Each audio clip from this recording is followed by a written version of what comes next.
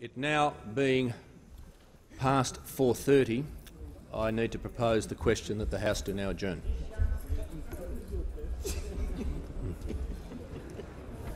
the question now is that the House do now adjourn. All that, is, that opinion say aye. To the contrary, no. no. I think the ayes have it. Division required. Ring the bells for four minutes.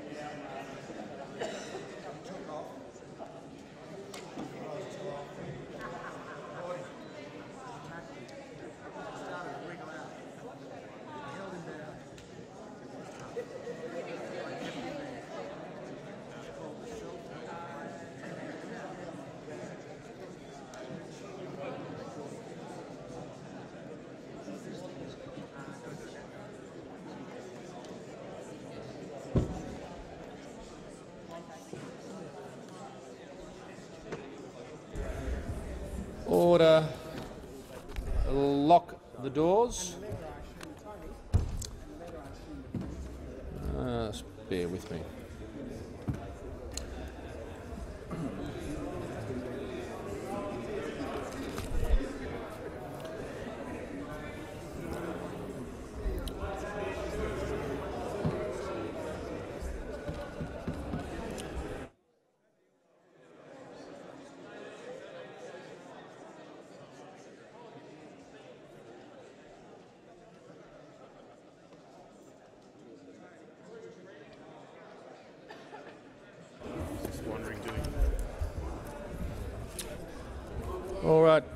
Question is that the House do now adjourn. The ayes will pass to the right of the chair, the noes to the left. I appoint the honourable members for Grey and Dawson tellers for the ayes, and the honourable members for Fowler and Moreton tellers for the noes.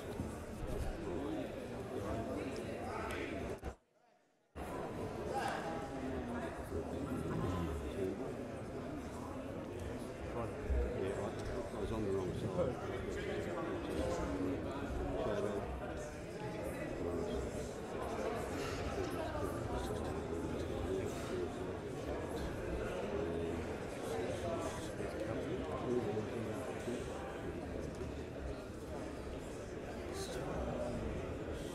Kelly.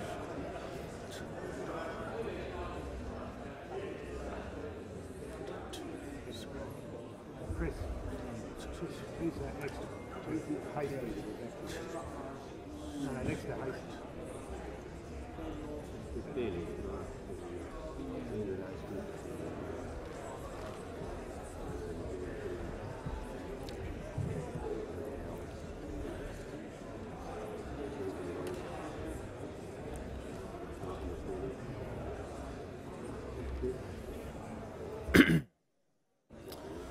Mr Speaker, could you ask the members to face If members could face the front so the tellers can recognise you.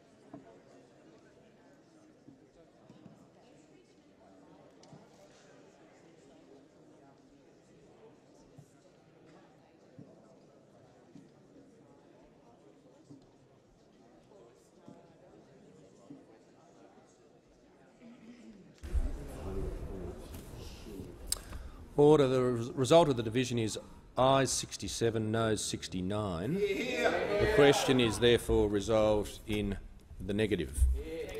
Speaker. I now call the member for Grayndler. Thank you, Mr Speaker, and I move that all words after that be omitted with a view to substituting the following words. The message be taken into consideration at 5.20pm today or the first available opportunity thereafter. The is, is the motion seconded? The member for McMahon and reserve your right to speak. The Leader of the House. Mr Speaker, you hadn't actually put the question, so therefore he couldn't move the amendment. Yeah, but we, did, we, we don't actually know what's before the House until the Speaker states what is before the House, so you'll have to do that all again. Well, the question, the question was, um, prior to the adjournment debate, that the, that the original motion on the message of the Senate be agreed to. The member for Grayndler. Yes, Mr Speaker, I move that all words after that be omitted with a view to substituting the following words. The message be taken into consideration at 5.20pm today or the first available opportunity thereafter. Is the motion second? The motion second. I thank the member for McMahon. He reserves his right to speak. The Leader of the House. Well, thank you, Mr Speaker, and uh, quite clearly this is a stunt by the Labor Party about the Royal Commission uh, into financial services and transactions. The Leader of the House will resume his seat. The Manager of Opposition Business on a point of order. I move that the question be put. The Manager of Opposition Business has moved that the question be put on the amendment. All those of that opinion say aye. Aye. To the contrary, no. I think the noes have it. Is a division required? Ring the bells for four minutes. I think more than three minutes has elapsed.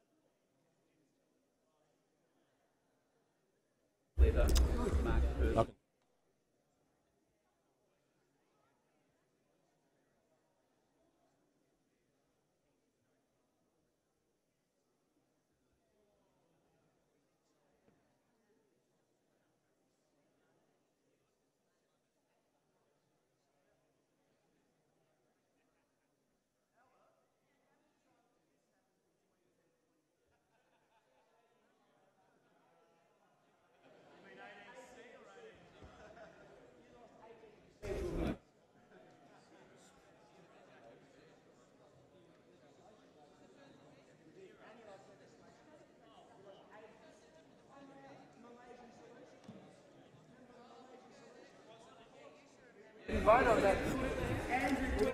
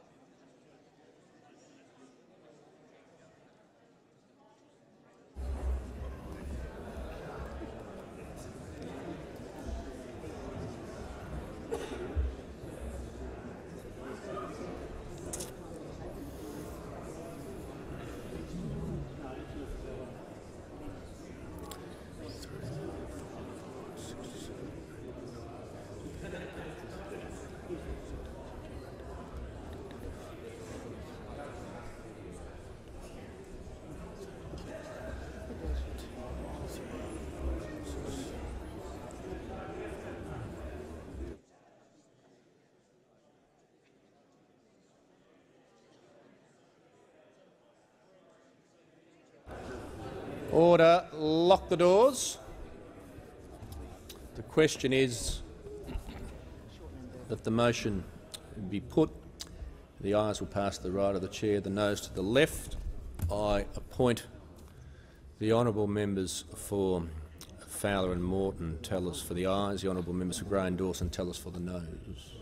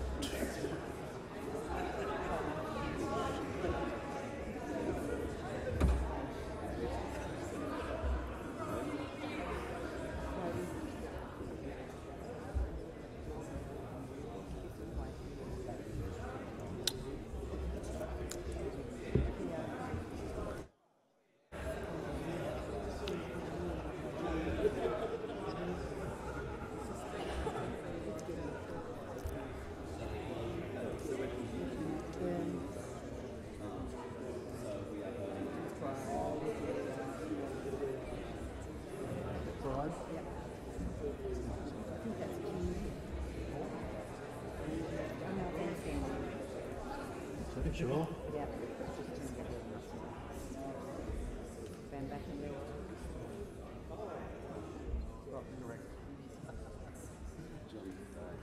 Um,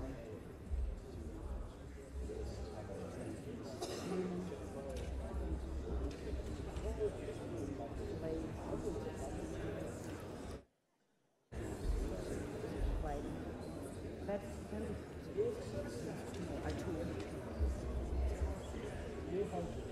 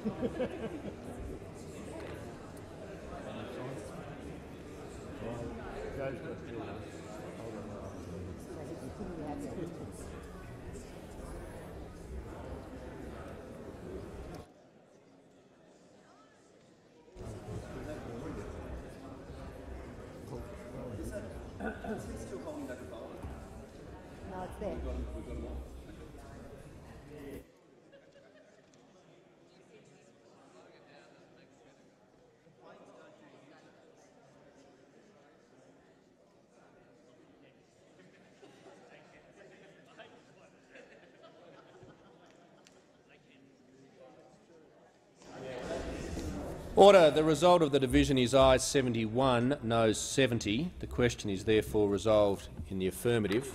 The question now is that the amendment be agreed to. All those of that opinion say aye. aye. To the contrary, no. Division required. Division required. I think the noes have it. The. Division required. Ring the bells for one minute and I appoint the tellers as per the previous division.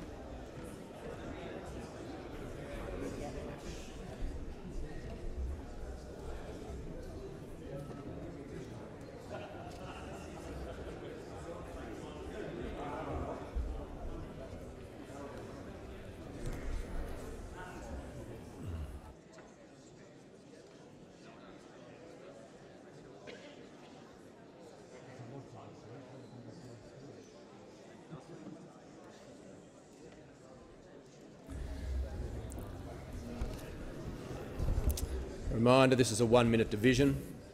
Helpful if members were to remain in their seats unless they're leaving the chamber or did not vote in the previous division or if they're changing their vote, in which case they need to report to the tellers.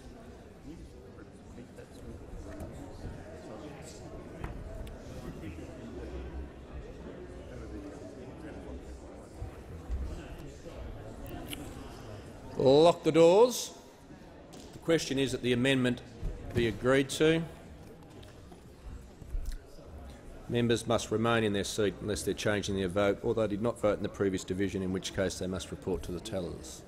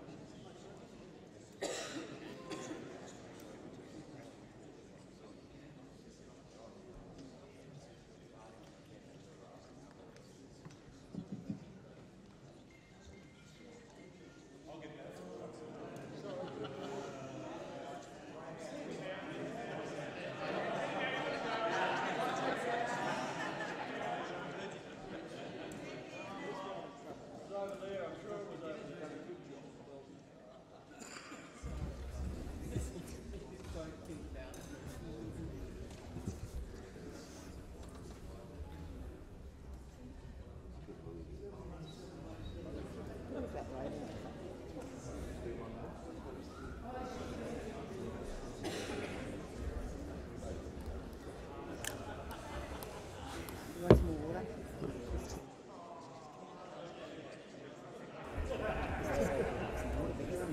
Yeah, you can't at the moment. You go, Mr Perrick, 71, no.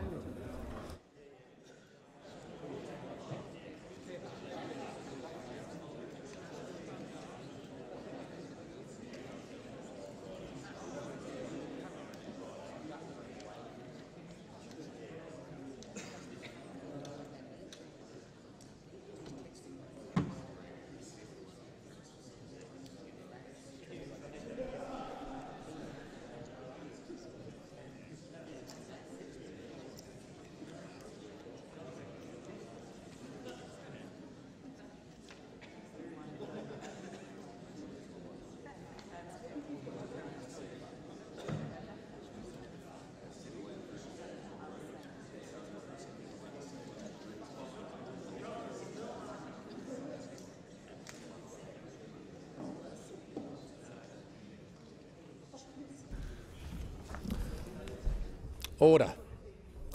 The result of the division is ayes 71, noes 70. The question is therefore rev- resolved in the affirmative. The question now is that the motion as amended be agreed to. And I call the Treasurer. Thank you, Mr Speaker. Well, it, it takes a tactless The stunt to try Treasurer and force a tactless... seat. Mr Treasurer resume his seat. The Manager of Opposition Business now has the call. I move that the question be put.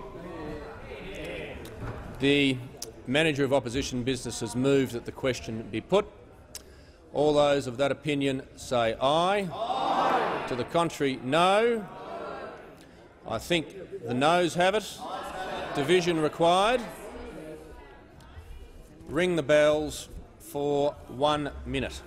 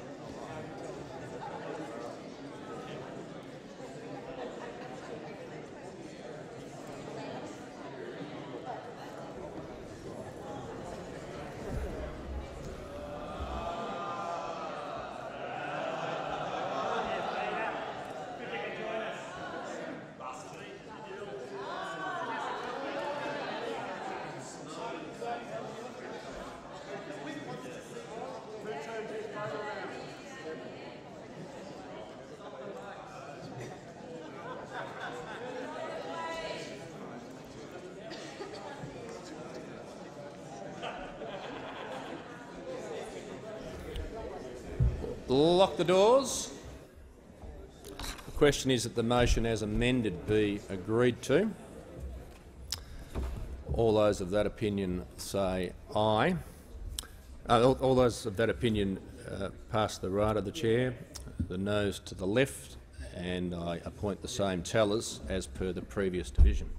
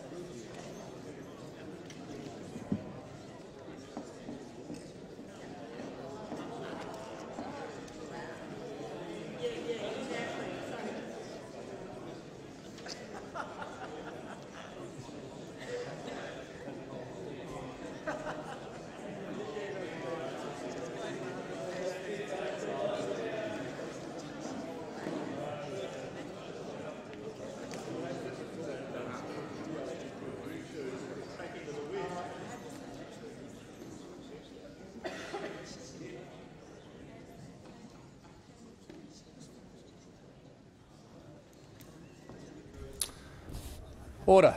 The result of the division is ayes 71, noes 71. The question is therefore tied and requires me as Speaker to exercise a casting vote. Uh, as members uh, would be aware, the principles uh, uh, regarding a casting vote by the Speaker are outlined in House of Representatives practice, specifically on page 183, uh, and they include that the Speaker should vote to allow further discussion where this is possible. I therefore cast my vote with uh, the noes, and that is against um, closure of the debate.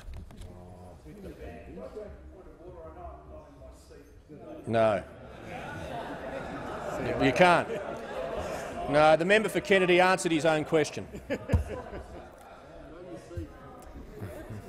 The Treasurer has the call. Thank you, Mr You Speaker. can't take a point of order out of your seat. You What we're seeing here this afternoon, Mr Speaker, is a stunt, a stunt from an opposition to promote their stunt, which is the Royal Commission, Mr Speaker. A Royal Commission for which they have no terms of reference, a Royal Commission that is motivated just by, just by one thing, Mr Speaker, and that is for the Leader of the Opposition to recklessly and cruelly manipulate and use the genuine pain and the genuine The concerns of people warned. in Australia to promote his own political self-interest, Mr Speaker. That is what the Leader of the Opposition is seeking to do here this afternoon. He is using a stunt to promote his stunt, Mr Speaker, because what we know on this side of the House is when there are serious issues to be dealt with, particularly in the banking and financial system, then you deal with them. You address them. You take action, Mr Speaker. That's what you do. And what we know is, as they came into this place today at question time and they raised genuine concerns by The constituents... Treasurer's time has expired. The Deputy Prime Minister has Thank you, call. Mr Speaker. Look, I think it's incredibly important that we clearly understand that there is the capacity for the oversight and the proper delivery of an outcome with the facilities that are currently at our disposal, and we in the government are prepared to put more to it if it's required. But the idea that we would start a royal commission for a royal commission's purpose, which has no power to prosecute, which has no not the same powers as what we see in see what the, The member- and, and The what we member actually, for Hunter will cease is that interjecting. in our capacity to make sure that we As look after such people as the farmers, that we stand behind such things as a regional investment corporation, a regional investment corporation to properly facilitate looking after farmers. And I take the interjection from the member for Hunter because we are the people that got the concessional loans out, going out of this at this current time at 2.66 per cent. We have seen well in excess of 430, I think it's close to 480 million dollars well in excess of $450 million now being lent out in concession loans. We are the people that are making sure that we deliver packages to people in regional areas to look after them. We are the same side of politics that is looking after people with the farm household allowance, making sure we keep dignity, dignity to, on the, for people on the farm, on the land. We are making sure that this is delivered. I note, I note with absolute, uh, with, with, with fascination that we get an interjection Members on from my Labor left Party, will take the their seats Labor or Party leave the chamber. milk prices went down to 27 Members cents a on my left in Victoria, will take they their seats or leave it. the They chamber. did nothing about it. All they can do, all the Labor Party can do, is come up with stunts. They are not a government. They are not an opposition. They are a circus. A circus that believes in stunts, a stunts that stand in proxy for being a, for, for being any even a vague semblance of what a government might be.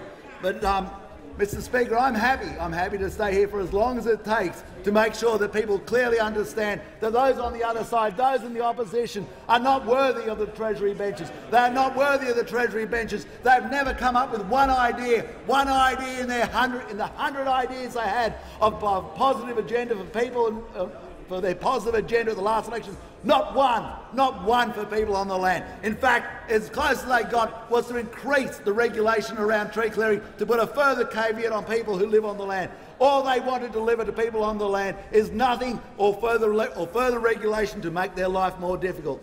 Now, Mr Speaker, it is a, an, an interesting day. An interesting day when we're talking about probity, when we're talking about how things could be done better. And this is the same week where we hear with people such as Senator Sam Dastyari receiving, a, receiving more than $1,600, $1,600 from an organisation which has close ties with the Chinese government, and they just brush it over. They don't worry about that. They don't worry. They don't have the ticker to stand up and actually make a statement and do something about that. You'd think that the leader of the opposition would have the capacity when it's asked of him to show real leadership, to actually make a statement, to actually show the Australian people the sort of person he would be or he wants to be, that he does not have the ticker to stand up to Sam Dastyari. It's obviously that the faceless men have more power than the leader of the opposition. It's quite obvious that, that if people want to hear something, if they want to say back later on at night, then the Australian people should hear this. The Australian people should hear that Sam Dastyari received in more than $1,600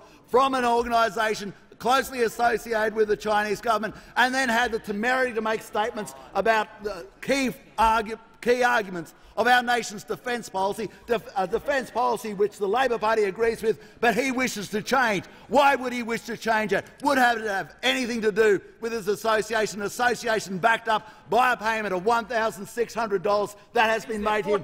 In fact, not only that, not only that is he said he said he donated to a charity. Even that charity had the decency to see the tainting of that money and handed it back and handed it back that charity has more ticker than the Leader of the Opposition, who intends to do nothing about this. He now has the time to show some ticker. He now has the time to do something about this. He now has the time to show his mettle. Has this man any mettle? That is the question that everybody's asking here tonight. They're not going to be asking about your charade. They're going to be asking about your ticker. Do you have anything? Is there anything inside there? Is there anything inside that shows you have the steel inside you to deal with Senator Sam Dastyari, or is he more powerful than you? Is that really the reality? Is he more powerful than you? Are you actually scared of him? Does he actually run it? Is the Labor Party still run by Sussex Street and you are the, merely their puppet, sitting there just waiting? I mean, that's, that's what the Australian people are here. That's what they want to hear about tonight. We're, we're happy to talk about.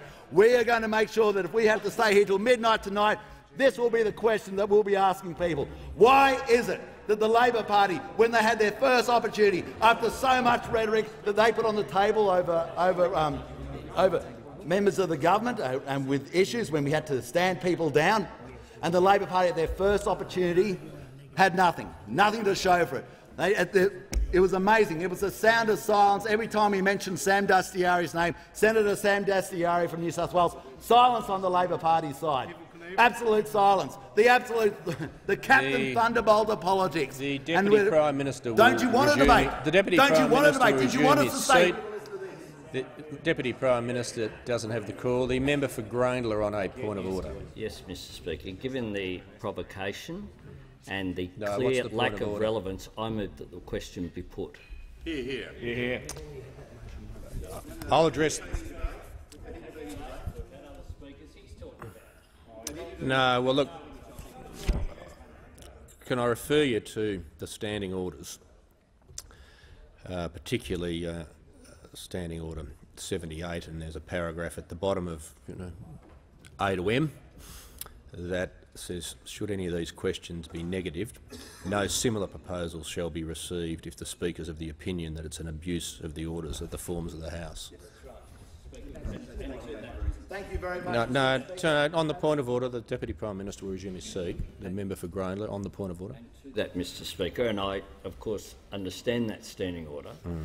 But uh, in between the in between the deliberation, in which uh, you determined quite rightly mm uh, that uh, to cast your vote uh, in the negative, mm -hmm. quite clearly, uh, if there was a debate of the substance of the motion that was before the chair, but what we're seeing here is All clearly right, just the member for Grayndler will resume his seat.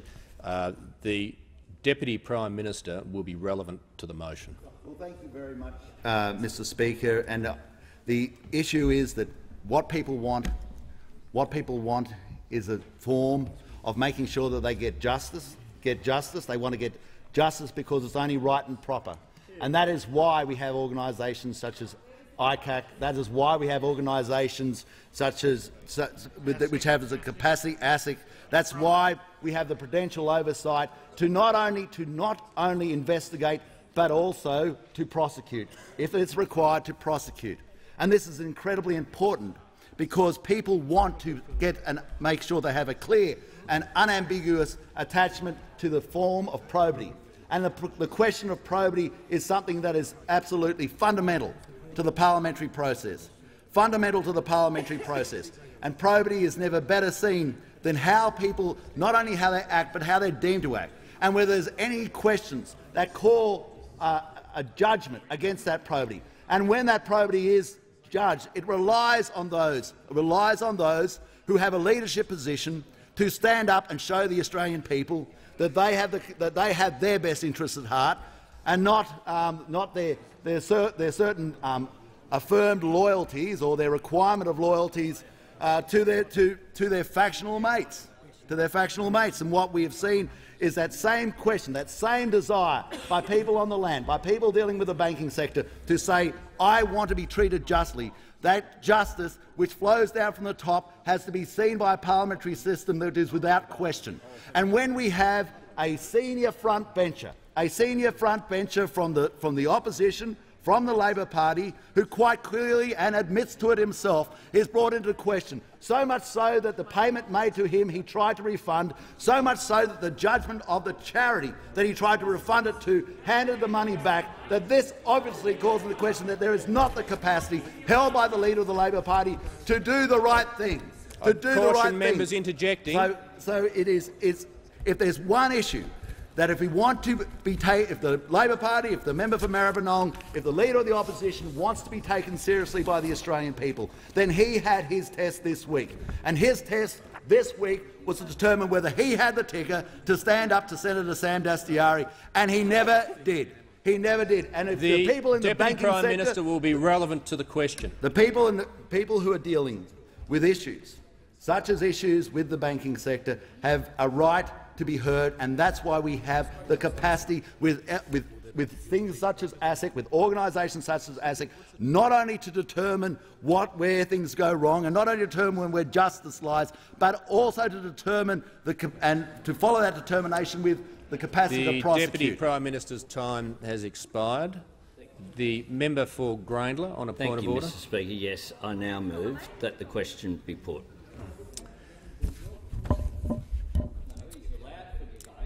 I'll hear the Leader of the House on the point of order.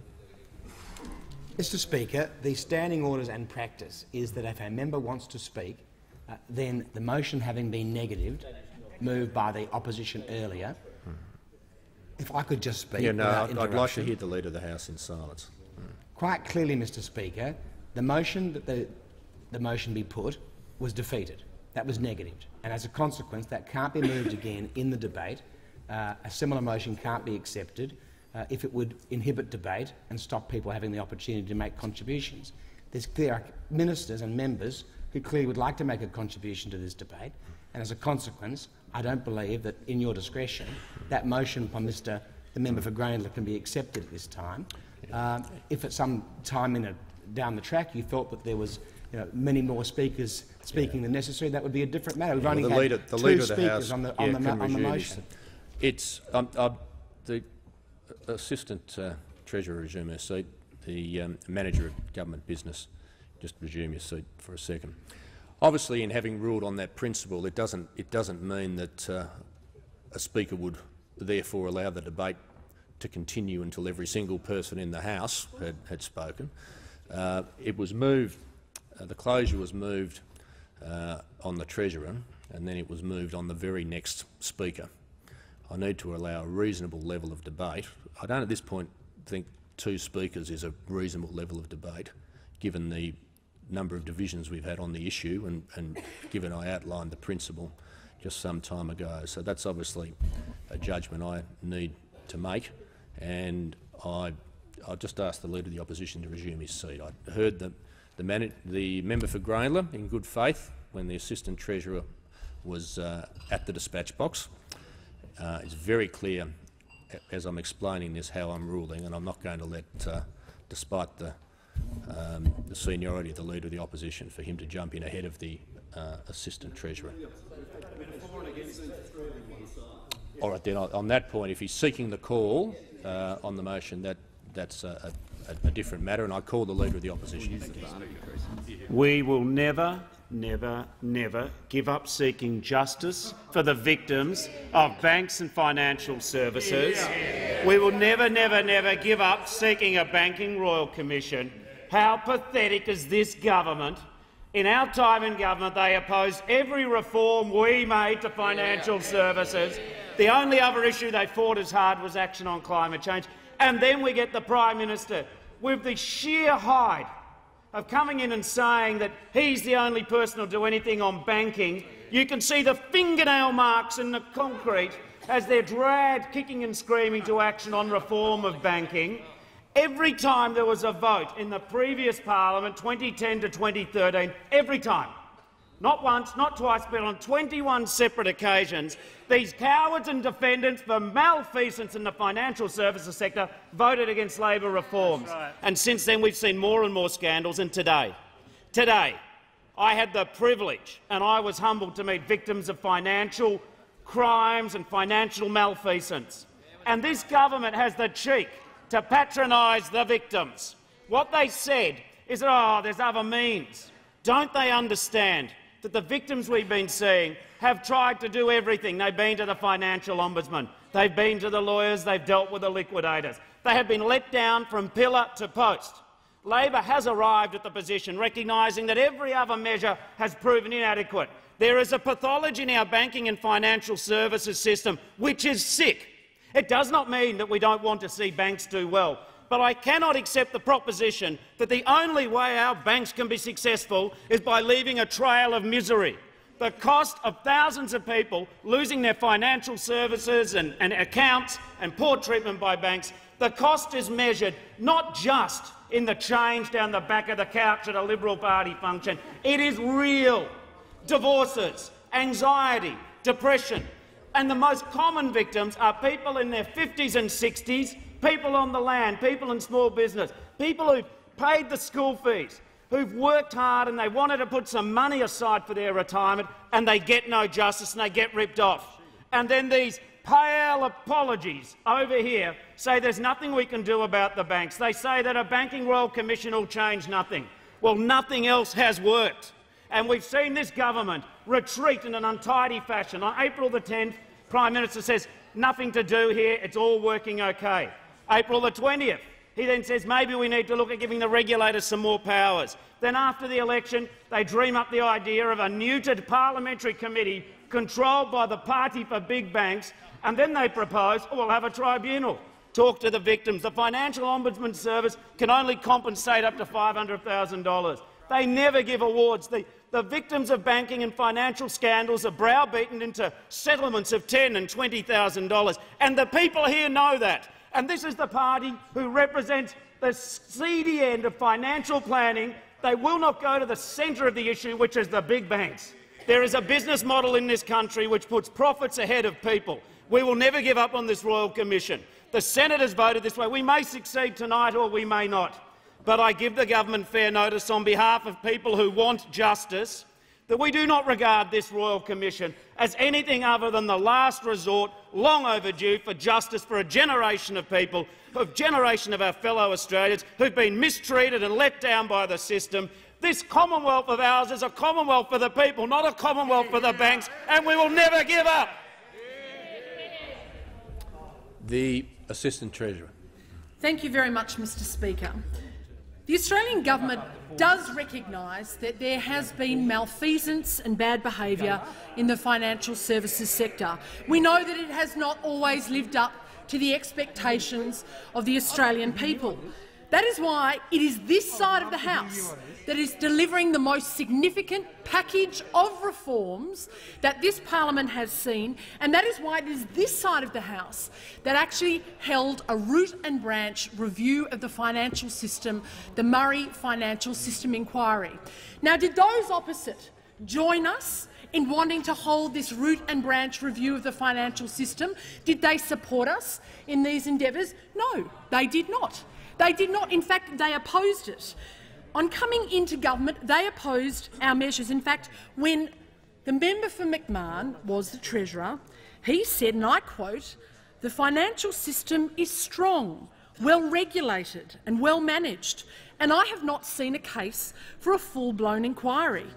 Now, this is despite the fact that there were so many financial planning scandals during that time. In fact, during the time that the member for McMahon was the Assistant Treasurer and also the Minister for Financial Services for more than a thousand days, when he had the power to propose inquiries, to actually do something in this space. It was also at a time when the member for Maribyrnong, the leader of the opposition, the man who stood here at the dispatch box with such confected outrage and said that he would have done something if only he'd been given the chance, well, he had that chance when he was the Minister for Financial Services and Superannuation for nearly three years more than a thousand days. He too could have done something at a time when there were financial scandals. And let me go through them. At a time of their government, there was Opes Prime, there was Storm Financial, there was Trio Capital,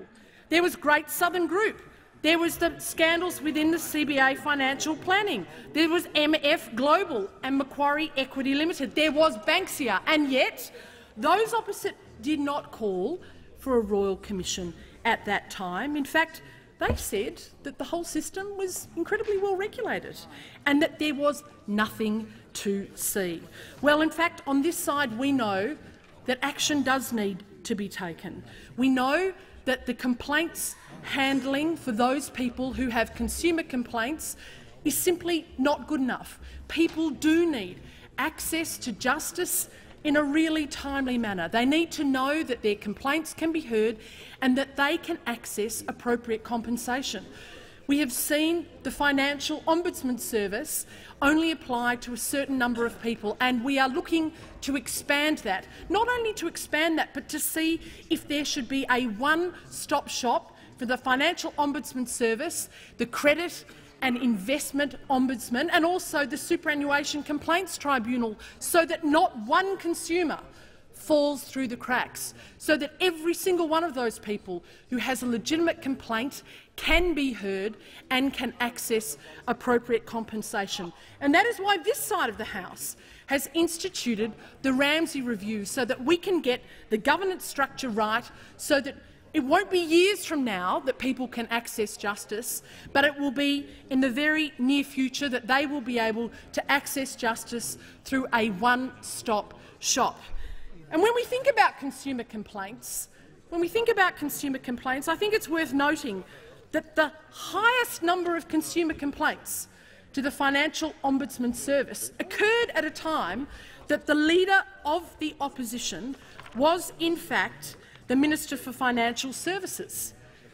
More than 36,000 complaints at that time. It has, in fact, gone down since then, and it is due to the very, very hard work of putting in place the appropriate changes in regulation and strengthening our regulator that we have seen that number go down.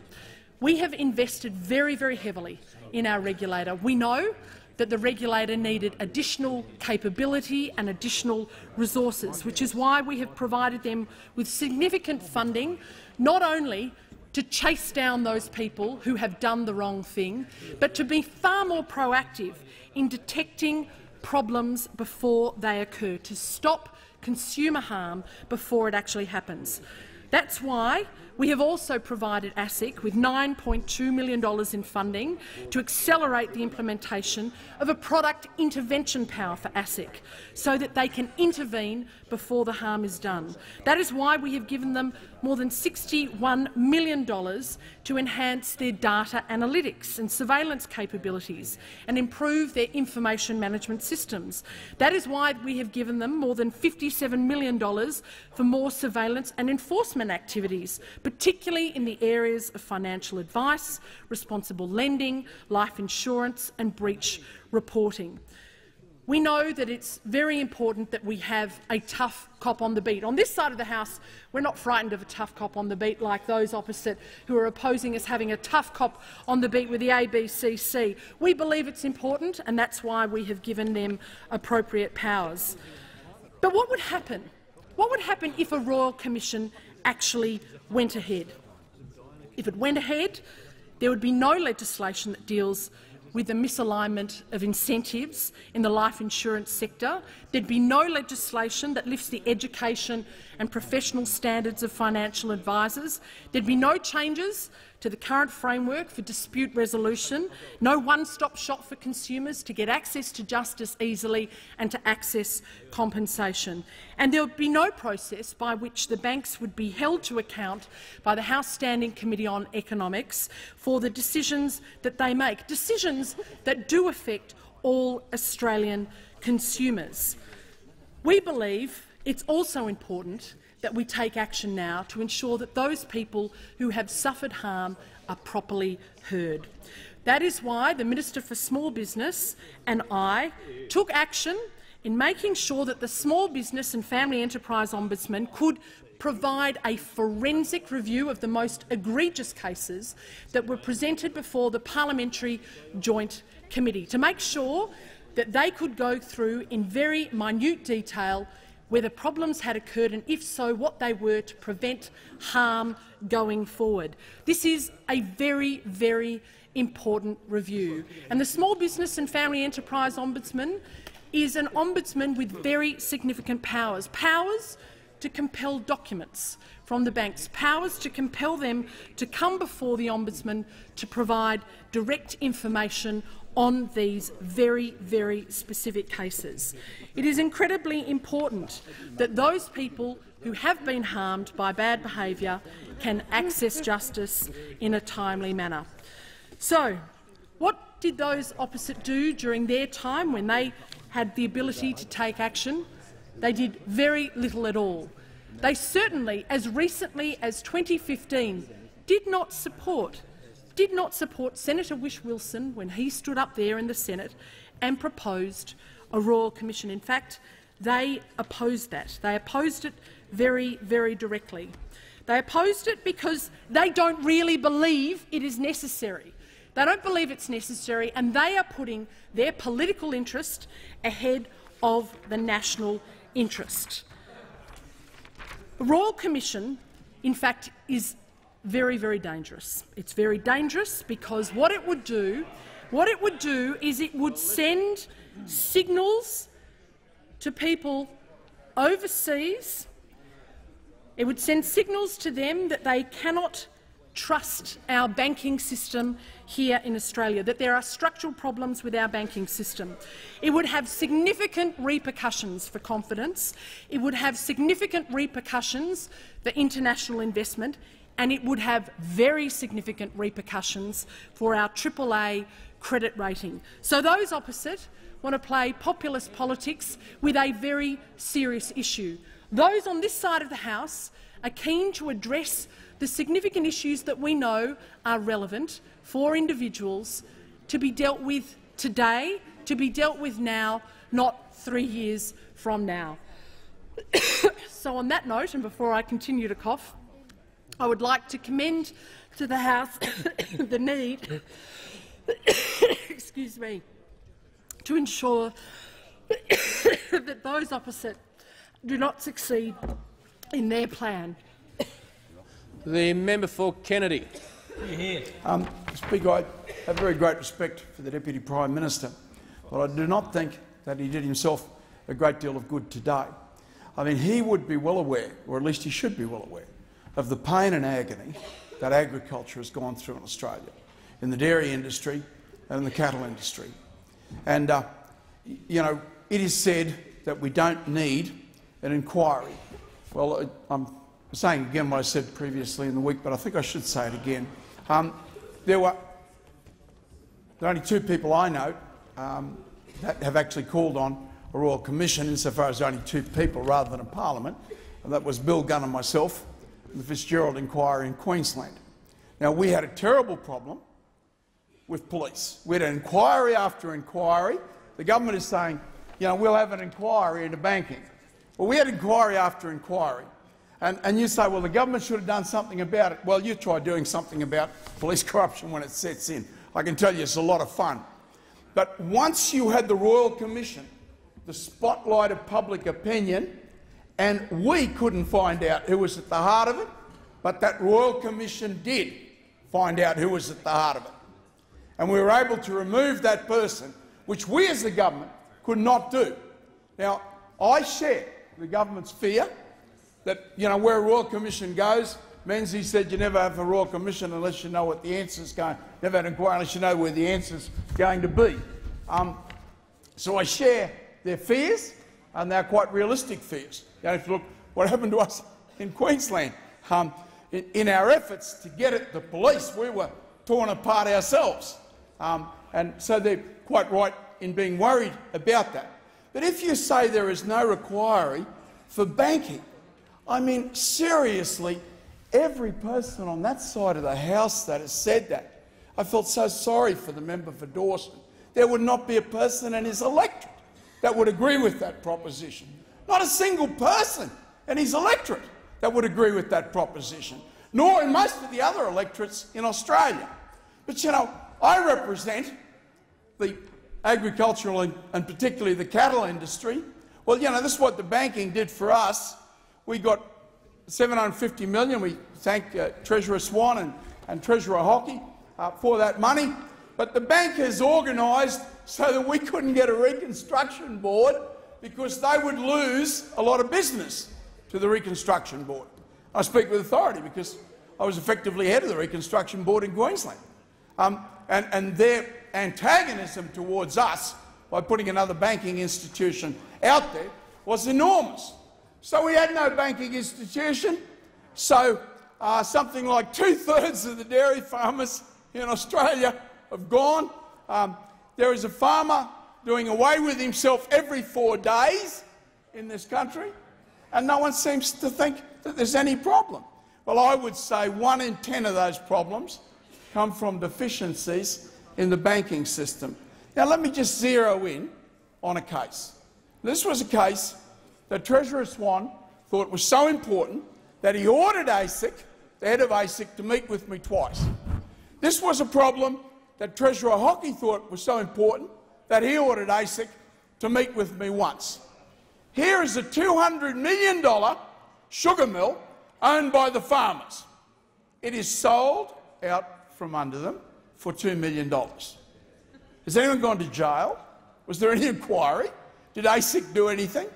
I mean, in uh, Innisfail, where this occurred, they refer to ASIC not as a watchdog, but as a lapdog. And of course, there's the figures. Anyone can find out. The mill was valued the year before. There was an offer for 56 million. The mill the year after was sold by the company for 76 million, but they bought it for $2 million. Now, the banks are going well. They have loaned money out for housing to a point where the housing values in the Greater Sydney area are $1 million, near enough to $1 million. The average income for an Australian is $75,000, and most Australians are well below that. But take out the tax, and you're about $56,000. And of course, if you're paying $970,000 for a house, there's your $56,000 gone. And then you tell me there is no necessity for an inquiry. You are standing on the brink of a precipice. And every intelligent person in this country knows that you are standing on the brink of a precipice. And maybe you don't want the spotlight because it might indicate that the precipice is there. Uh, but I can assure you, everyone in this House, that the government and I don't mean to be offensive to the ALP, but I wouldn't be particularly, I would agree with people on the other side, that I wouldn't be convinced that they would have done anything because they were there for three, three years. So I'm not making a partisan plea here. I'm simply saying to you that I, like the rest of Australia, would not have faith in this place to be able to address the problems of the banking industry. I would have faith in a Royal Commission because I've seen it at work and I've seen its enormous effectiveness in achieving the goals that it was after. Now, let me give you one other example. There is a very famous, now very famous case of a bloke called Charlie Phillott. So uh, the member from Mount Isa, Robbie Katter, son calls a big meeting, and God bless the Deputy Prime Minister for going to that meeting, uh, a last stand meeting at Winton. And a, a bloke called David Pascoe wrote a letter about a bloke called Charlie Phillott. He said, a letter to my fellow Australians. And he concentrated on a bloke called Charlie Phillott. And if you want to see everything that's good about this country, meet Charlie Phillott, because he represents everything that is good about this country. My staff sat in the front of the screen reading the letter, and they were all were crying. My mother, my, my wife, sat in front of the screen. She burst out crying, and she formed a body to send out food and help to some of these people. Um, now, the spotlight was turned on this issue. Phillott had walked off. He owned nothing. The farm had fallen to pieces. Right? But when the spotlight of public attention was put on the bank, the chairman himself, God bless him, and I think he's a good man, the chairman himself, what's going on here?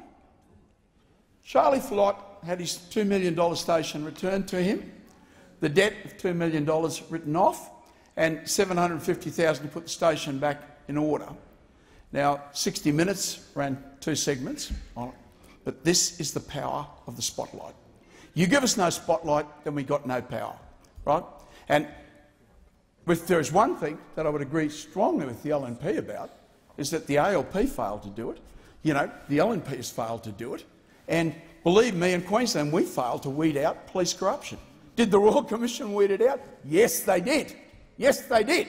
Um, so what I am saying is we want the spotlight and the power of public opinion, which was so enormously effective in the now famous case of Charlie Phillott. That, by the way, that letter got three and a half million hits. It was the highest ever recorded um, for a letter in Australian history on the internet. But it was pointing out the shortcomings of the bank. Well, I mean, the spotlight in itself is a redress. Now, we have had an inquiry into Woolworths and Coles. you want to read it? It said they are going to take over Australia. They've got 60% of the market. They're increasing at 2.5% of the year. You better do something about it. Did the government do anything about it? Successive governments? No. They now have nearly 90% of the Australian food market.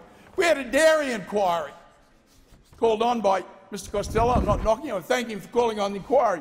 Uh, another whitewash. There's nothing wrong with the dairy industry. Nothing except that 7,000 of the 15,000 dairy farmers have gone broke, bankrupt, and walked off their, their properties worth absolutely nothing, um, nothing apart from that. And if you think you can achieve these objectives with all of the muscle power that we were able to bring on the cattle industry and secured $800 million in loans, do you know how many cattlemen got assistance from the government in Queensland? Four. One, two, three, four. The minister was advised that there are only 13 cattlemen at risk. Well, there had been 12 stations foreclosed on in the um, Caulfield area. Uh, that famous Charlie Phillott said there were 12 foreclosed on in the Winton area. The Catholic priest in Longreach said that one quarter of the stations there was being foreclosed on. And you say, well, what's banking got to do with this? If we had a reconstruction board, no one would have been foreclosed on. No one would have been foreclosed on. And I speak with authority because in Queensland we did have a reconstruction authority. I happen to have been the minister with primary, not ultimate, but the primary responsibility. Member and we went Kennedy's in. time The, we were told that a third of the sugarcane farmers had to. The member for Kennedy will resume his seat, and I call the minister. Uh, thank you, Mr Speaker. Uh, I note that the uh, Shadow Treasurer over there, the uh, member for McMahon, has uh, declined to speak. Uh, his silence is deafening in the chamber. Okay, I'm being a, being a little bit presumptuous. But, but I can say, I can say, well, I'm, I'm going to be pleased to hear the, uh, the, the member for McMahon. I'm going to be really pleased because, because uh, indeed, when he was Treasurer in 2013, uh, the member for McMahon said, and I quote, the financial system is strong, well regulated and well managed, and I have not seen a case for a full-blown inquiry. That was when he was Treasurer, Mr Speaker. But uh, not just that. He also said that our two market guardians are the Australian Prudential Regulation Authority and the Australian Securities and Investments Commission, APRA and ASIC. The standard they set is world's best practice. Now, he said that when he was the Assistant Treasurer in an op-ed uh, entitled Good Place in an Economic Storm, published in uh, Fairfax's Sydney Morning Herald, 24 September 2008. So when given the opportunity, when given the opportunity, the member for McMahon didn't want a royal commission. Didn't want a royal commission. Now, the big banks can and they will be accountable, Mr Speaker. They can, they will be accountable. Australia's major banks are now going to be called to appear at least annually before parliament. At least annually. They will be brought before the House of Representatives Standing Committee on Economics to report jointly to the Treasurer, Member for Cook, and the Parliament on our banking and financial system in Australia, and that is entirely right and appropriate.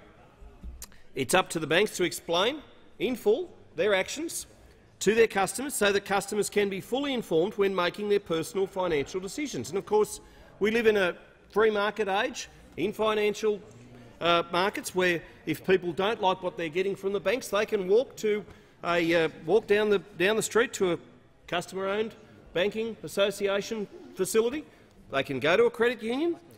Coming before the committee, this is the banks separately. The banks will have an opportunity to explain how they are responding to funding issues to support Australian consumers and businesses. And I'm proud to be the, the, the Minister for Small Business.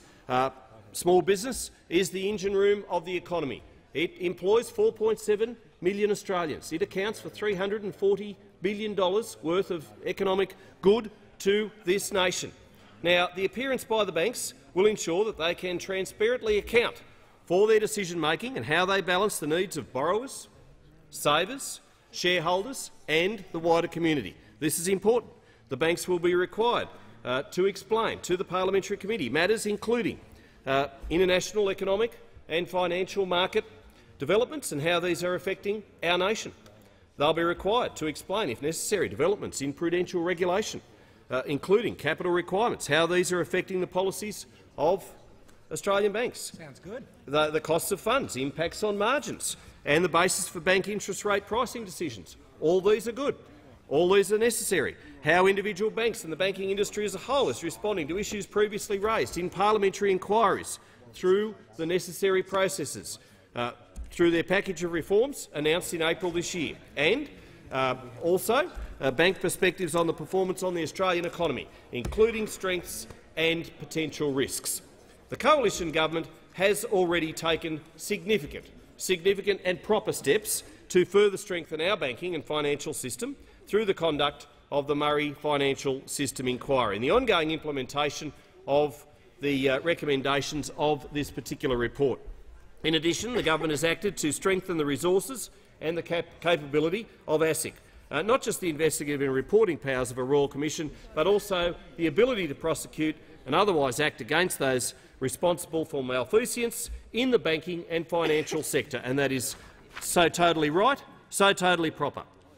Just yesterday, uh, Minister O'Dwyer and I uh, announced the, that the Australian Small Business and Family Enterprise Ombudsman, Kate Carnell, a very respected political and business figure. She has been directed to undertake an inquiry to assess whether current laws address the concerns raised by the Joint Parliamentary Committee on corporations and financial services in its report.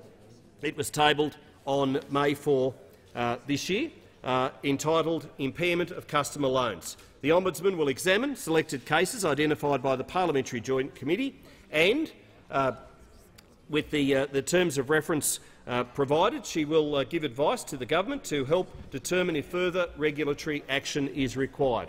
That is right. That is proper. That is necessary. We are taking action. We do not need a Royal Commission into the banks. The PJC raised serious concerns about how banks treated some of their small business lending customers, and they made a number of recommendations to address the deficiencies they identified. The government has a substantial financial system agenda to improve consumer outcomes. However, the Ombudsman will be able to identify through a forensic analysis if further reforms are needed, if they're required. Uh, Ombudsman Carnell will do that. She will provide interim findings to the Ramsay Review to inform the wider review of external dispute resolution schemes in the financial services sector. and the final report is due to be provided to the government in 12 weeks.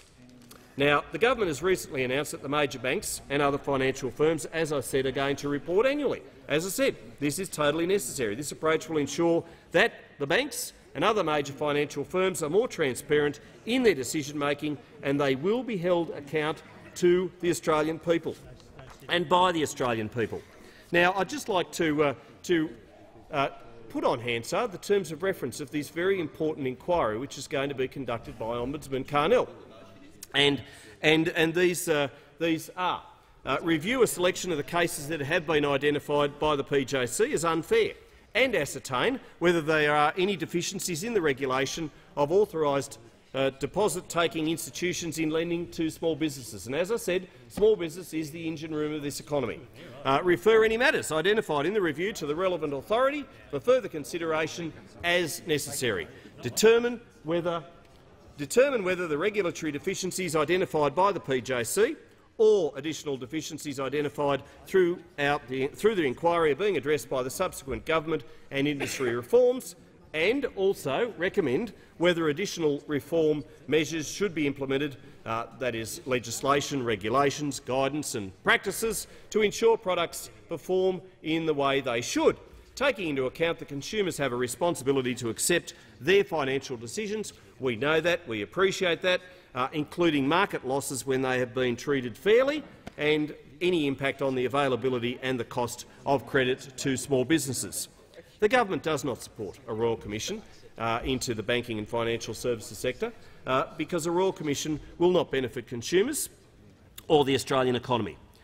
Uh, it will benefit lawyers. The Prime Minister made that point in question time today and question time yesterday. Critically, a Royal Commission would, uh, would just go over old ground and would delay well-developed and important reforms which will strengthen consumer protections, ensure malpractice is detected and, where necessary, punished, and provide a one-stop shop for consumer complaints. In addition, a Royal Commission would send the signal internationally. That's the last thing we need, that the government believes there are structural problems with our banking and financial sector. This would have a significant repercussion uh, for confidence, for international investment and, of course, for our all-important AAA credit rating. This, this uh, motion is a further demonstration that the Leader of the Opposition uh, is, is not fit to hold his current position. I mean, he had the opportunity. The, the, he had the opportunity. He was the Minister for Financial Services and Superannuation from the 14th of September 2010 to the 1st of July 2013. He was the Minister for Workplace Relations uh, from 2011 to 2013, and in that time he, he didn't call for a Royal Member Commission into the banking sector.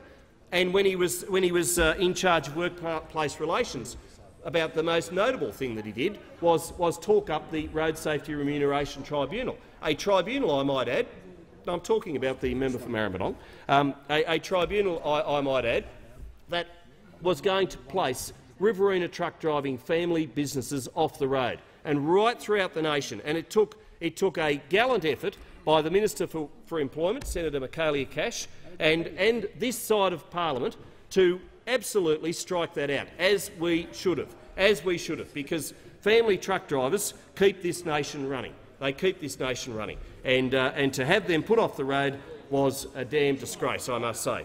The government recognises that the financial services sector has not always lived up to the standards expected by the, by the Australian community. We, we understand that, and that is why this government is implementing the most significant package of reforms to the financial sector in recent history. We didn't see too much from that side when they were in government. Six sorry years in government, just racked up the debt and deficit, never called for a Royal Commission.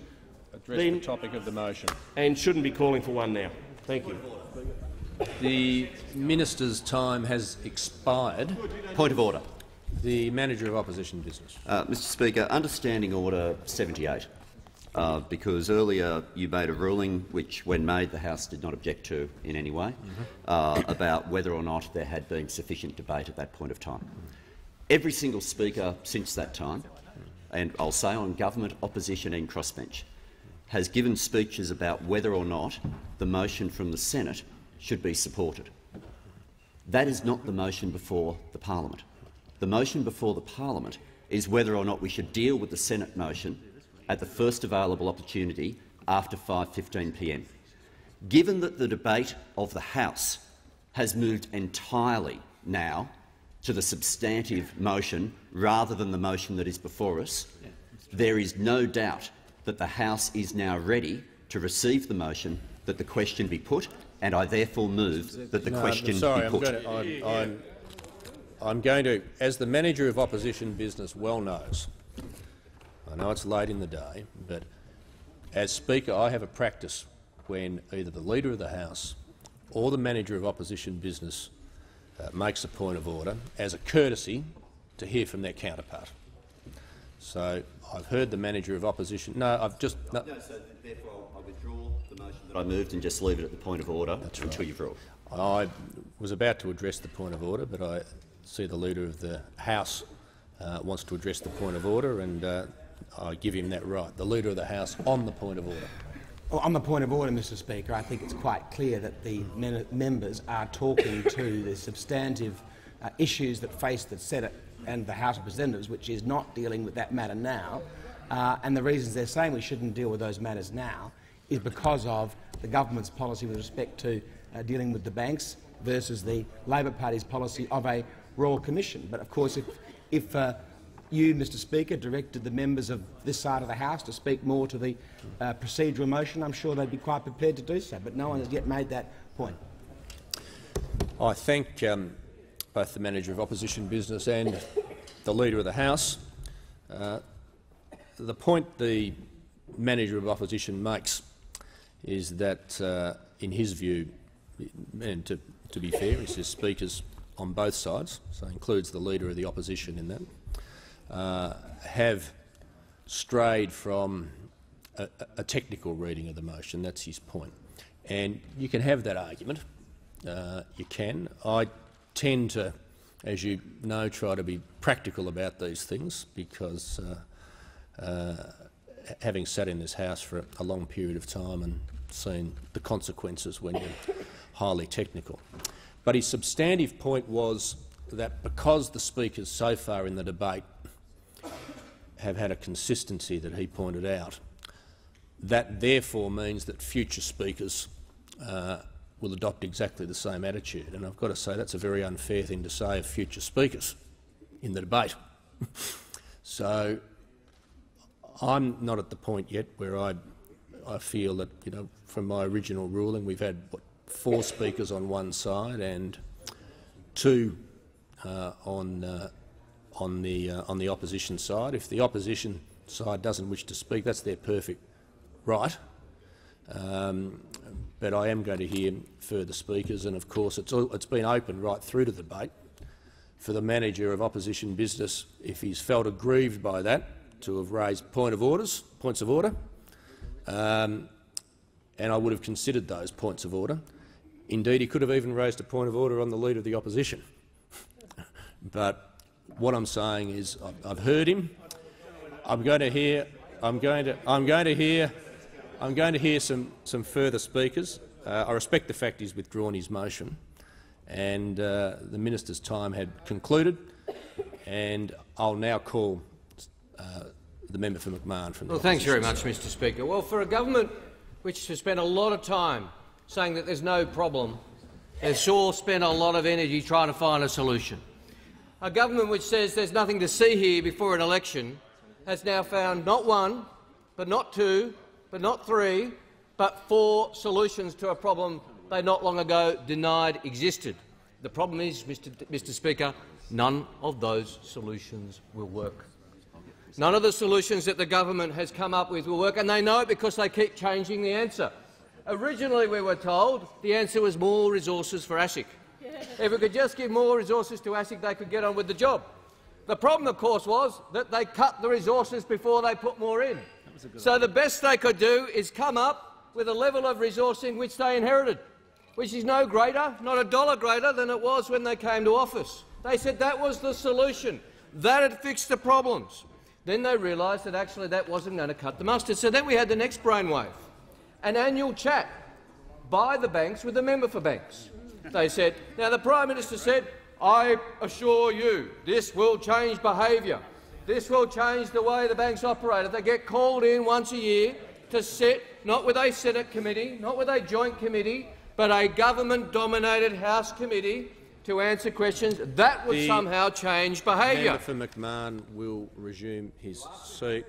The, the Leader of the House. I move that the debate be adjourned. Okay, the Leader of the House. Yeah, the, the Leader of the House is entitled to move that motion, but not while someone's speaking. So the member for McMahon has the call. Christopher, Christopher, Christopher. So we were told that an annual chat with the member for Banks would change behaviour. And now the latest solution is a tribunal, of which we have no detail, no information. We don't know how it will work with the Financial Services Ombudsman or other uh, tribunals that already exist. We already have some of these tribunals in existence, and now a new tribunal, we're told, will fix it. And then, of course, we have the latest solution by the Minister for Small Business, who was such a triumph in the census, such a triumph for public administration. He's now sent a referral of an inquiry to the Small Business Ombudsman, who is the former Chief Minister of the ACT. Now, forgive us for not being blown over and impressed with that little stunt, Mr Speaker, that that is somehow going to fix all the problems. Now, the Prime Minister does not want a Royal Commission into financial services. He's got some experience in Royal Commissions into financial services, and it hasn't gone too well in the past. So no wonder he doesn't want a, a Royal Commission into financial services on this occasion. And the government thinks it's clever to go through some of the scandals and some of the crises that occurred when Labor was in office and when I and the now Leader of the Opposition had ministerial responsibility. Well, we're happy to talk about that because that's just why the Leader of the Opposition and I know that a Royal Commission is necessary. Because the Leader of the Opposition and I have spent a long time meeting with victims. I've spent time in office meeting with victims. I've met with the victims of Trio. I know the victims of Timbercorp. I know the victims of bad financial advice. And that's why I and this Leader of the Opposition put through the financial advice reforms that we did. And you know who voted for them? Labor Party members. You know who voted against them? Liberal and National Party members on every single occasion. And you know what else Liberal and National Party members did? They went to the 2013 election. They went to the 2013 election and said, oh no, we can, we can live with these reforms now, that's okay. And then they won the 2013 election and then they tried to overturn them. And in fact, it's worse, Mr Speaker. They actually succeeded in overturning them for a period of time. They had the numbers in this House. They managed to get the numbers in that in the other place, and they actually legislated to water down the Labor protections which we had put in office. They actually voted successfully to provide less protection to Australian consumers of financial advice. That was one of their big priorities when it came to financial reform. That was their big agenda to, to ignore the lack of mandate, to spend their resources, their political capital, their energy to water down protections on financial advice. But the Senate was a wake-up. The Senate worked out. Crossbenchers in the other place knew that they'd been had. And then it was put again in the Senate and their repeal was overturned. I say to the government, shame on you for trying to water down our protections. Shame on you for leaving victims of financial advice to the vagaries of dodgy advice. We'll talk about the things which happen when we're in office, and that's why we understand, because they are still happening. As good as the financial advice reforms are, as important as they are, we still see scandals. And you know what, Mr Speaker?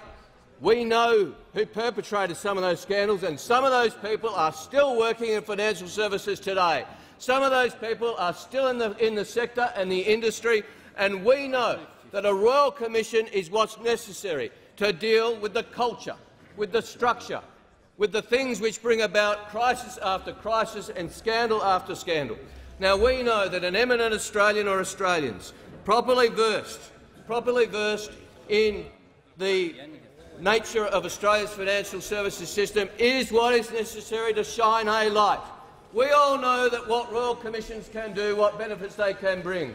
We've called royal commissions in the past for the right reasons in office, and thank goodness we did. And they had their naysayers. They had people who said they weren't necessary. Well, not many people say they're not necessary now.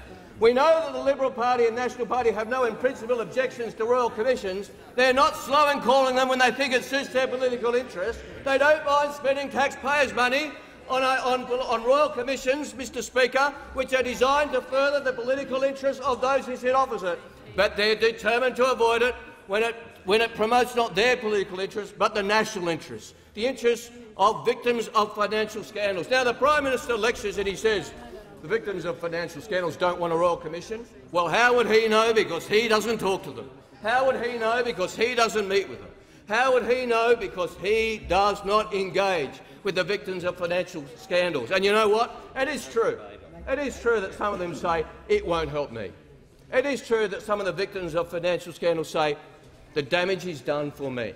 But having been through it, having lost my life savings, in many instances having seen my family break up, and in some tragic instances having lost members of their family, they do not want to see it happen to another Australian. They do not want to see it happen to another family. They know that something has to change. They know that the culture has to change. They know that the system has to change, and they know that tinkering won't do it. They know that a royal commission will. They know that a royal commission, actually properly constituted with the powers and authority necessary, will get to the bottom of what they went through. How have we found out about the scandals that have occurred so far, Mr Speaker?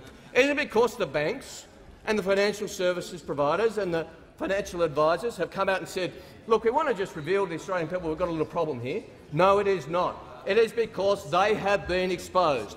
They've been exposed, I've got to say, Mr Speaker, by investigative journalists in many instances. And I want to in the House pay due credit to one in particular.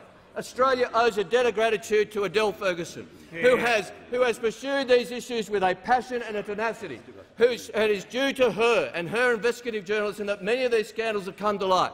But Australia shouldn't be relying on one journalist or even on more than one journalist. Australians shouldn't be reliant on one media outlet to examine these issues. Australians are reliant on us, on everybody in this House to do their job, on everybody in the other House to do their job. And they're relying on us to make sure that the proper procedures are in place and resources are given.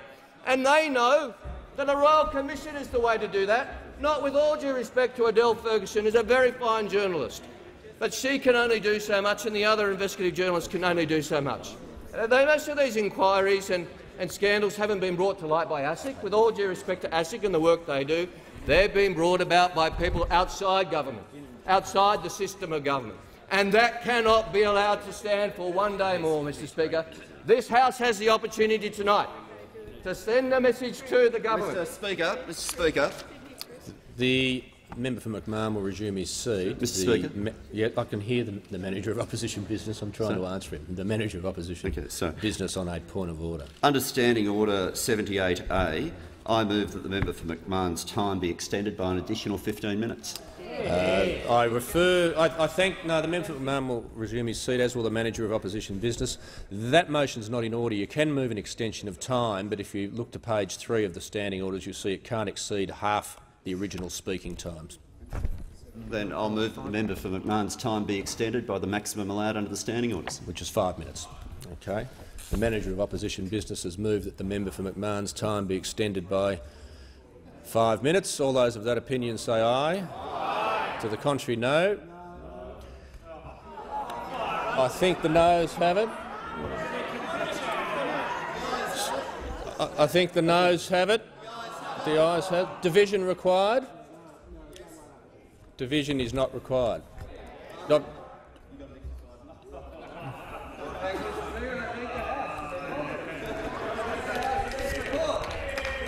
the House more if we actually do the right thing by Australian financial consumers and say to this Prime Minister, do the right thing and call a Royal Commission. Now, Mr Speaker, only the Executive can call a Royal Commission. Only the Executive can determine the terms of reference. Only the Executive can advise the Governor-General. That's why it's called a Royal Commission, because it's got to have the assent of the Governor-General. But I tell you what, this House can express its will. This House can say to the elected government of the day, this is what we want you to do. And if this Prime Minister and this Treasurer and this Executive ignore the will of this House, then they will be showing more than their incompetence. They will be showing more than their lack of willingness to embrace the best interests of Australian financial consumers. They will be showing, above all, their arrogance. their willingness to ignore the wish of the other place and this place, their willingness and their determination to use all the powers of the executive to ignore the wishes of elected members of the House of Representatives. Now, members tonight have an opportunity to look into their conscience. And I say this in all seriousness, Mr Speaker. I say this in all seriousness to people on goodwill on the other side of the House, those who have called for royal commission in the past, those who've argued for a royal commission in the past, those who've tweeted about a royal commission in the past, those who've been part of inquiries of this House and the other place that have made the case eloquently and powerfully for a royal commission. Now is the time for delivery. Now is the time when you can actually do it. Now is the time when elected members of this House can stand up for this House's rights, for this House's responsibilities and obligations, Mr Speaker, and all of our responsibilities to our constituents. We all, Mr Speaker, represent Australians who have been the victims of financial scandals. But I tell you what, Mr Speaker, even more importantly than that, we represent people who might be the victims of future financial scandals. We represent people who may be subject to this sort of behaviour in the past, and we can stop it happening. We can't stop the scandals of the past, but we can put in place the laws to stop it happening in the future. How will we feel if we don't? How will those members who've called for a royal commission in the past feel if they don't? When there's another scandal and, we and if we have ignored our possibility tonight to call a royal commission, how will we feel? Well, I tell you what, Mr Speaker, I know how members on this side of the House will feel. We will feel that we've done the right thing, but we'll be angry, as many millions of Australians will be angry, that this opportunity was lost. So, Mr Speaker, we don't detain the House lightly tonight. We don't detain the House because uh, this is something that we want to do for fun we detain the House tonight because this is a matter of vital national importance. We detain the House tonight because the Australian people are watching and waiting for real action. We detain the House tonight because the time for talk is over and the time for action is now. We detain the House tonight because this House can send a signal to this arrogant Prime Minister that the time has come to put the Australian people first. The time has come to put victims of financial scandals first. The time has come to put future victims of financial scandals first by avoiding those scandals by having a properly, thoroughly constituted and well-resourced Royal Commission run by eminent Australians, run by people who understand the importance of a well-regulated financial services system. This can be done tonight. I say to the Prime Minister, sometimes you just have to know when you've lost. Sometimes you just have to know when it's time to recognise reality. Sometimes you just have to know when it's time to say, OK, I might have got this one wrong. So I know it's not in your nature, Prime Minister. I know it's not. I know it's not something that comes naturally to the Prime Minister. But I've got to say, I think the Australian people will react well to a Prime Minister who said, "I've got this one wrong. I've heard the message. I want to work with the Labor Party and the crossbenchers, and I will deliver a Royal Commission. That might not have been my idea, might not have been something I thought was great, but I've been convinced in the national interest. This is one, this is one, Mr Speaker, where the Prime Minister can actually put the national interest instead of in front of his political interest. This is one where he doesn't need to listen to the right wing in his cabinet. He can listen to millions of Australians and can say, I get it. I hear the message. I will deliver a royal commission because the Australian people deserve it. I will deliver a royal commission because the Australian people deserve nothing less. And I'll deliver a royal commission because it's the right thing to do. The Leader of the House. I move the debate be adjourned. The Leader of the House has moved that the debate be adjourned and the resumption Yet the question is that the debate be adjourned. All those of that opinion say aye. aye. To the contrary, no. no. I think the ayes have it. No. Noes have it. Division required. Ring the bells for four minutes.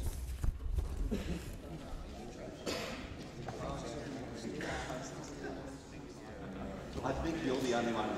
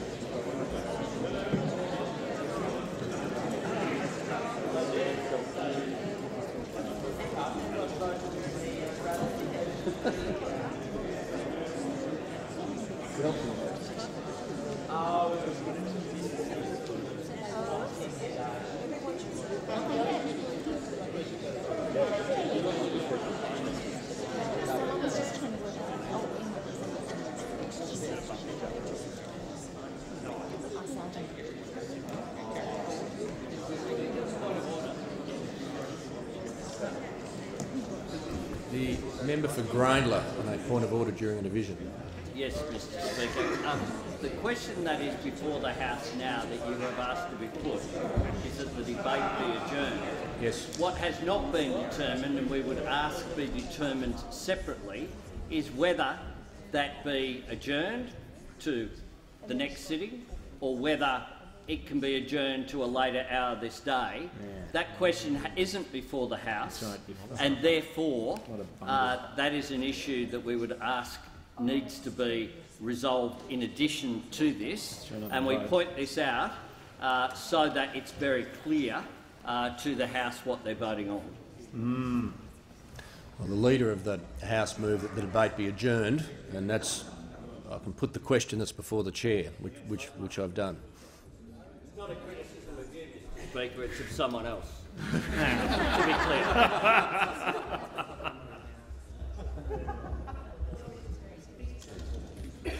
We'll have this division.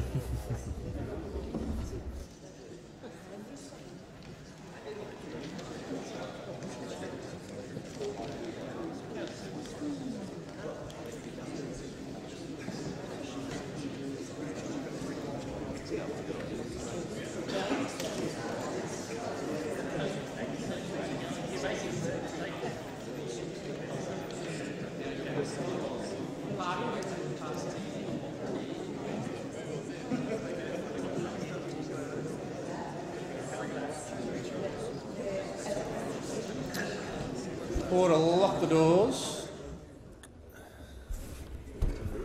The ayes will pass to the right of the chair, the noes to the left. I appoint the honourable members for Grey and Dawson tellers for the ayes, and the honourable members for Fowler and Moreton tell us for the noes.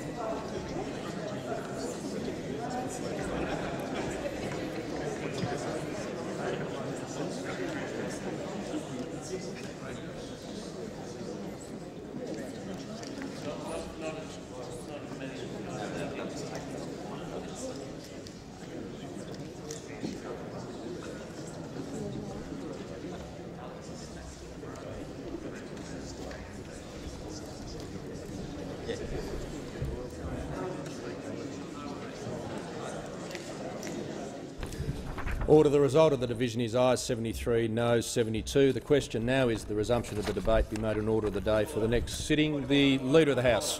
I move that the motion be put. The Leader of the House has moved that the motion be put. The Leader of the House was on his feet, and uh, you, you were not at the dispatch. The, man the manager of opposition business will resume his seat. I'm being as patient as I can with both sides. You were not at the dispatch box. The Leader of the House was at the dispatch box. You cannot take a point of order until you're at the dispatch box. Otherwise, people could take them from the fourth row out of their chair. The Leader of the House has moved the motion be put. All those of that opinion say aye. To the contrary, no. I think the ayes have it. Division required. Ring the bells for one minute.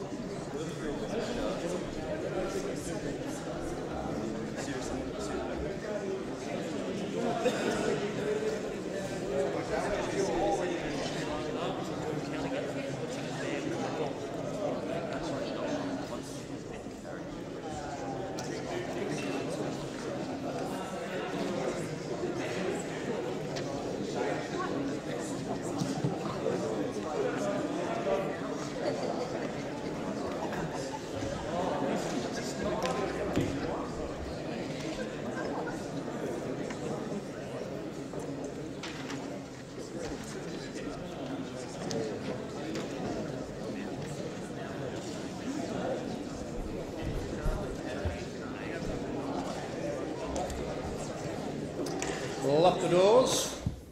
Question is that the motion be put. All those of that opinion. Uh, the ayes will pass the right of the chair, I should say. The noes to the left. I appoint the same tellers as for the previous division.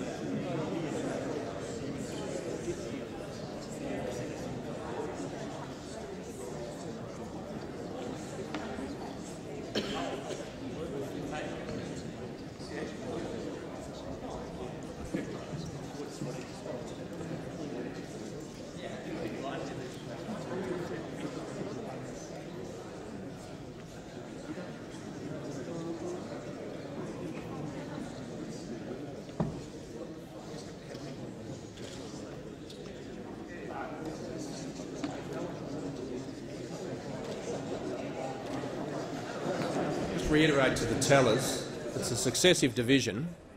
It's a one-minute division.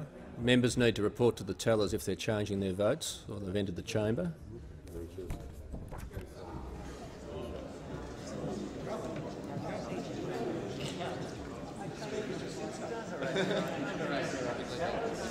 Say to the tellers with the successive one-minute division, unless anyone's entered the chamber or they're changing their vote, they need to report to you.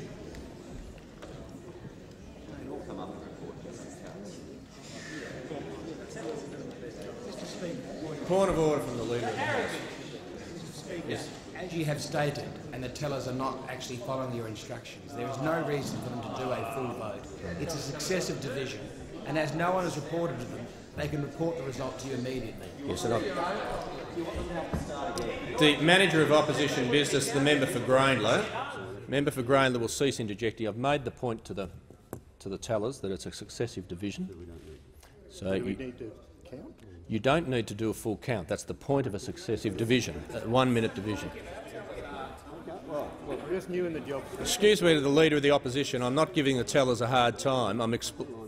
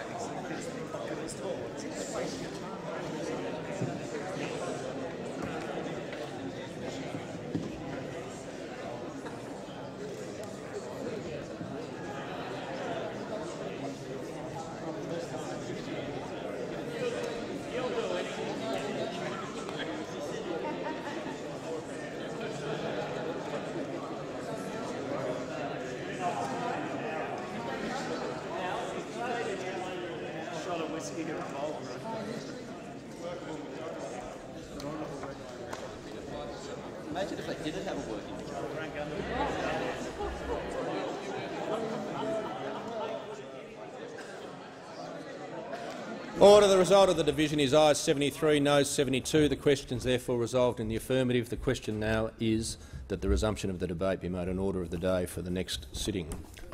All those of that opinion say aye. To the contrary, no. I think the ayes have it. Division required. Ring the bells for one minute.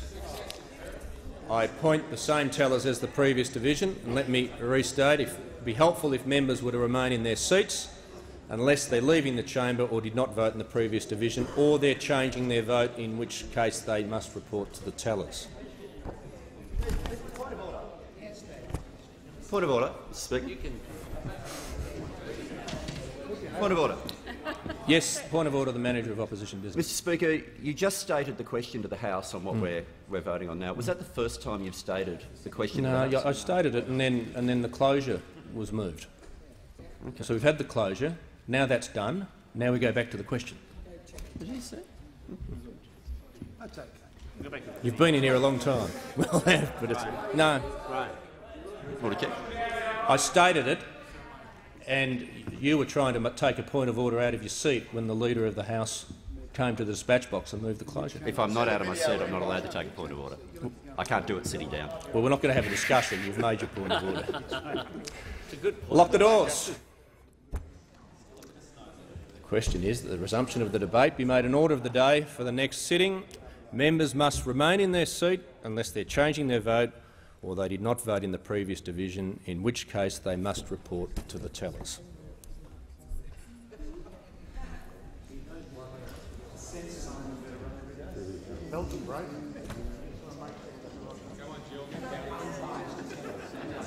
Start with one.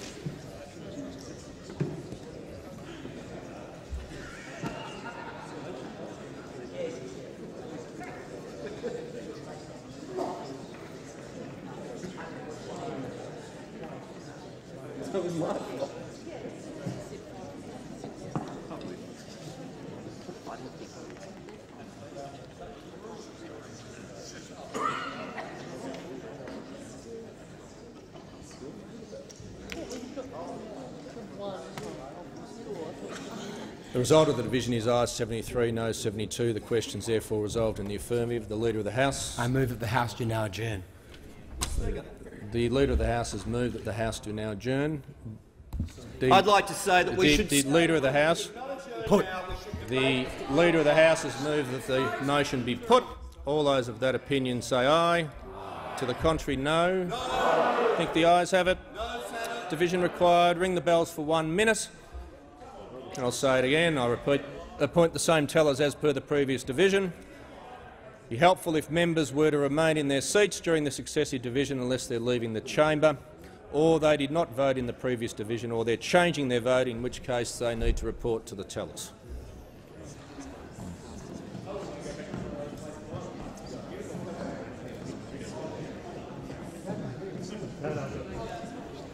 The uh, member for Grayndler on a point of order.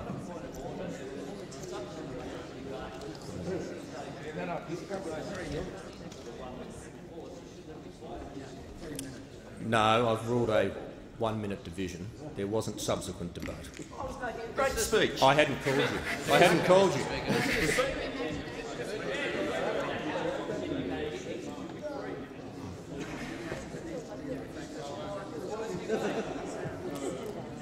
I realise you're following the ancient tradition, but I I can't actually see you at all on this angle.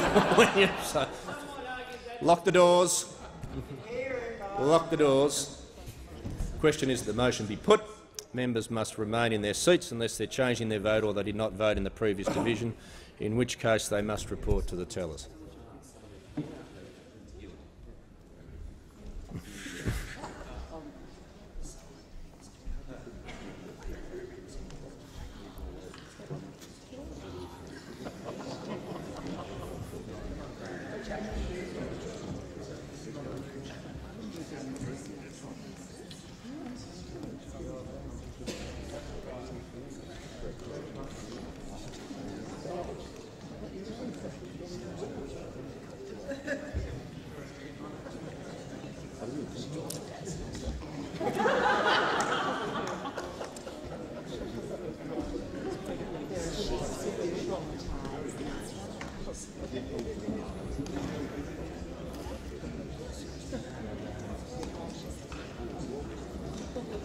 Remind the tellers it's a successive division.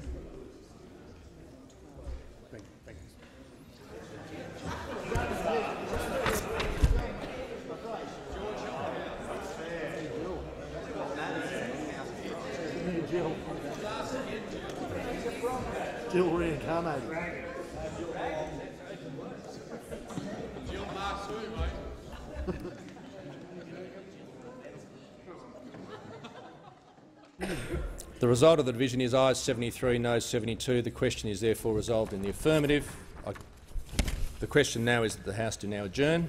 All those of that opinion say aye. To the contrary, no. I think the ayes have it. Division required. Ring the bell for one minute.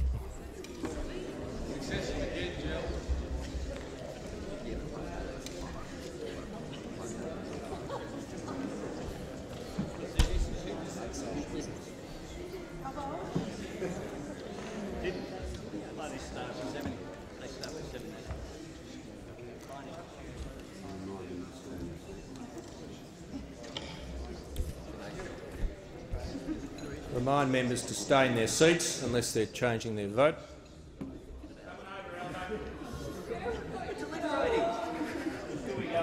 The doors aren't locked and 94A still applies.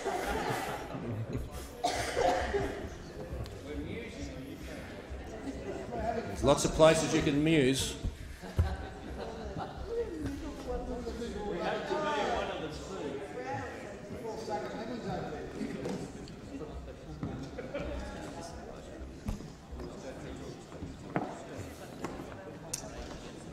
Lock the doors.